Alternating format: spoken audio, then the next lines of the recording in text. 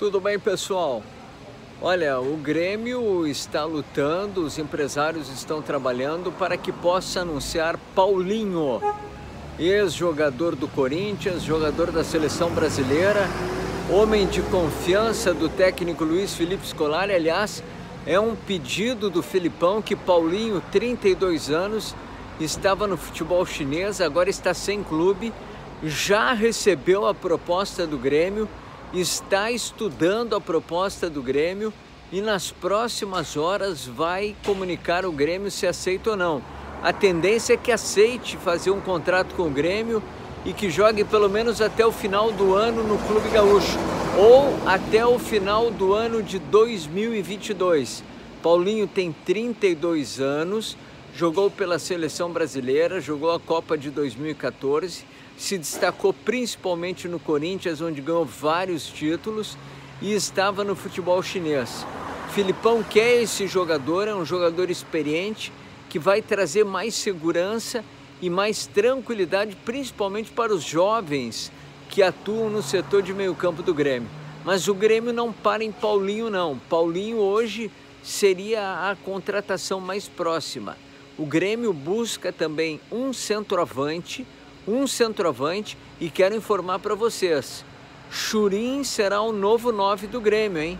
Churin será o novo 9 do Grêmio. Ele vem se recuperando de lesão, mas tão logo esteja recuperado, Churim será o novo número 9 do Grêmio. O Grêmio que vai buscar de 4 a 5 reforços. Paulinho seria o primeiro volante, né? Paulinho seria o primeiro, um volante. O Grêmio busca ainda um lateral esquerdo, mais um lateral esquerdo.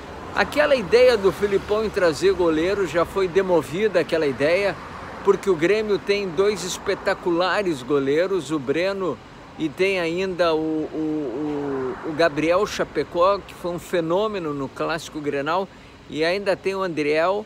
O Grêmio tem três goleiros muito bons, são jovens, mas todos os goleiros que foram eh, revelados pelo Grêmio, Emerson, Derley, começaram muito jovens. E assim o Grêmio aposta nesses goleiros, até porque o Grêmio teve dois goleiros que comprometeram muito, Paulo Vitor e Vanderlei. Paulo Vitor e Vanderlei ficaram um longo tempo com o Renato, jogando e tomando gols assim ridículos, né? Ridículos para dizer o mínimo. Então, o Grêmio não vai buscar goleiro, mas vai buscar um volante que seria Paulinho, um lateral esquerdo, mais um zagueiro, um centroavante e o meia que vem da Europa. Pode ser Juliano? Pode, pode ser Juliano.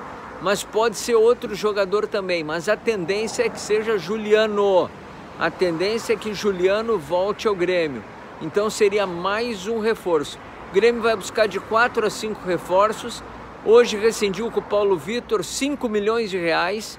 A gente havia antecipado aqui no canal do Farid Germano Filho.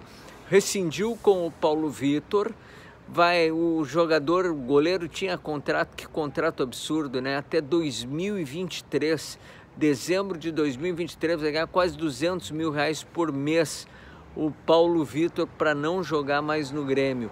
Mas o Grêmio se livrou de um goleiro que comprometeu e comprometeu muito.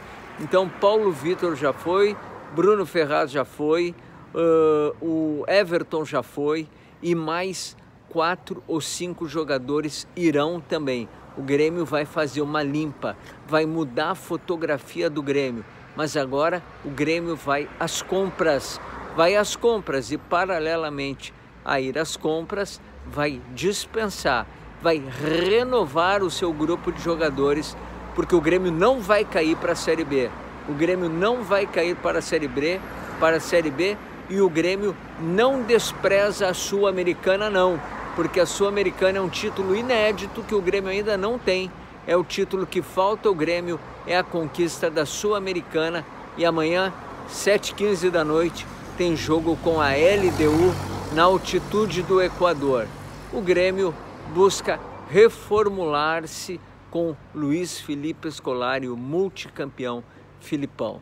Não se briga nunca com a notícia e Deus no comando sempre. Deus no comando sempre e jamais se briga com a notícia. Se inscreve no canal do Farid Germano Filho. Eu conto com a parceria de todos vocês.